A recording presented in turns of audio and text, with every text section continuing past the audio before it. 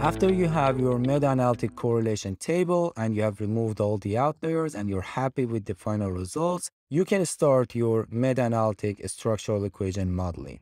In this video, I'll show you an example of how I do that using the library in R, which is called Lavaan, and uh, just show you some sample results. So as I said before, within HubMeta, you can click on this export R function. This will give you this file, if you open it in your R, that's how it looks.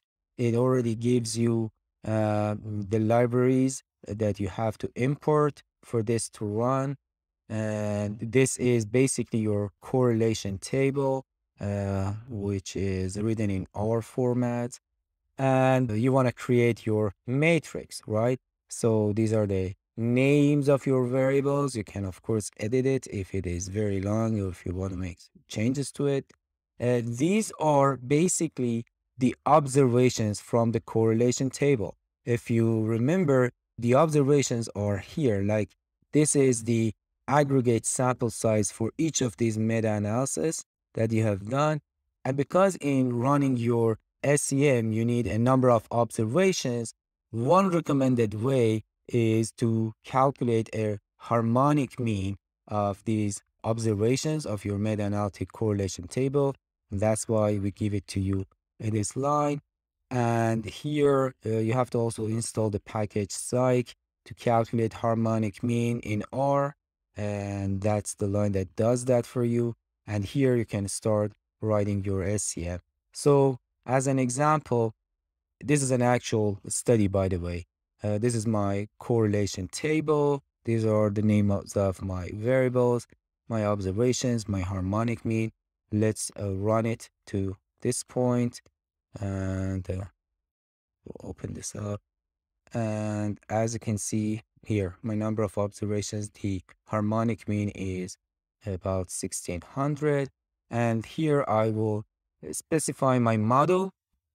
The first thing I need to do is to write my regressions, which is this one. So now I want to start writing my SEM model. Let's take a quick look at my theoretical model. So this is my theoretical model. Here I have my internationalization variables. This is my performance variable. And these are my uh, antecedent variables. And so basically I have a regression to write between this and this. And then internationalization dimensions, and antecedents. And then, of course, each of these act as correlated residuals, which I have to write in my uh, SEM model. Back to R, um, here are uh, my regressions. So in Lavaan, this is how you write regression models with a single tilde. This is my DV, and these are my uh, independent variables. And then again, another uh, regression down here. And then you write your correlated residuals with double tildes. So uh, the triple dimensions of internationalization are here, and these are my antecedents. And after that, this is the little code snippet you need to run your SEM. Um,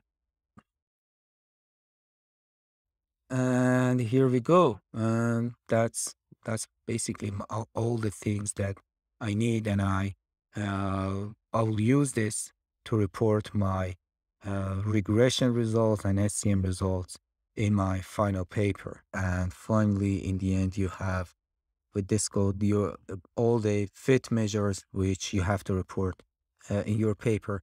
Of course, you know, SEM has a lot of details and you can watch specific videos for that. I just wanted to show you how we can get from this stage to this actual results. I hope you have enjoyed this video series.